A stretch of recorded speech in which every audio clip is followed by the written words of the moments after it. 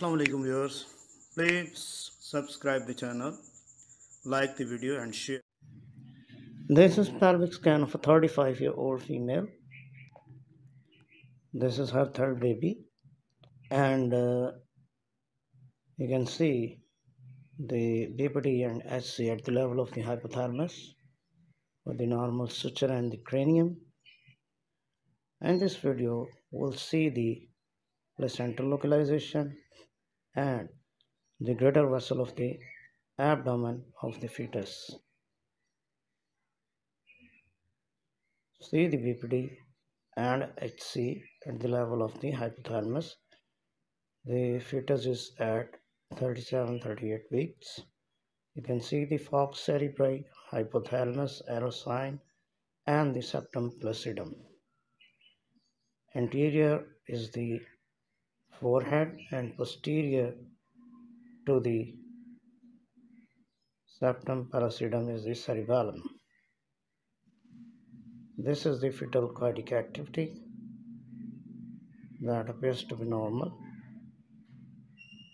Placental localization is very important part of the OPS ultrasound because it identify the complication within the surgery or the normal delivery.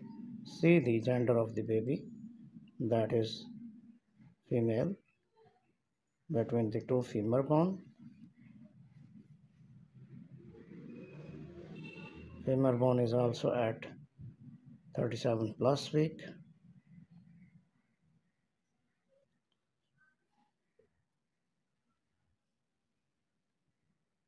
Now you can see the different parameters of the fetus. Weight is 3.3 kg and fetal age is 37 plus week. Expected date of delivery is November 8, 2023 and you can see the BPD HC FL measurement in millimeters can appreciate from the table?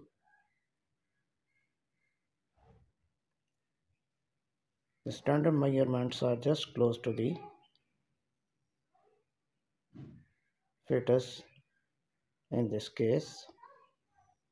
See the placenta that is anterior fundal. You can see the lower lobe of the placenta. It is grade 3 maturity. It's not reaching to the internal os.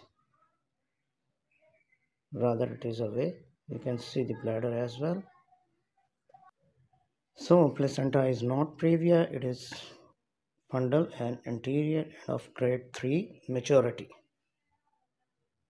You can see the blood vessel of the fetus in the abdomen. They are very clear on the fetal color doppler. These are the great vessels of the fetus. You can see them.